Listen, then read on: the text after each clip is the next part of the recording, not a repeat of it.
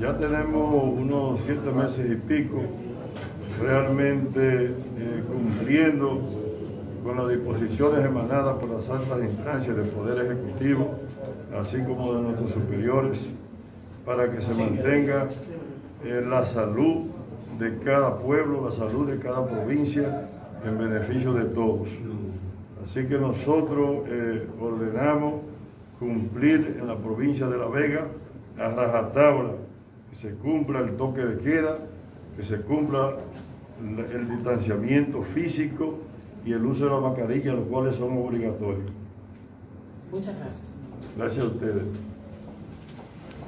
Eh, bueno, esperamos primeramente que el pueblo de La Vega, su disciplina, dice que así lo tiene, y que se acuerden que esto es de vida, eso es para todos. Que usted se ponga la mascarilla es obligatorio, pero también es de vida. Porque usted puede infectar a otras personas si no se la pone. Entonces, nuestro reto es que todo el mundo cumpla las disposiciones emanadas por los superiores, por el decreto del mismo señor presidente de la República. Y tratar de armonizar con todos los fuerzas vivas de lo que es la Vega. De la prensa, comunitarios, políticos, todo el que le duela la Vega. Unidos todos tendremos un mejor, una mejor provincia.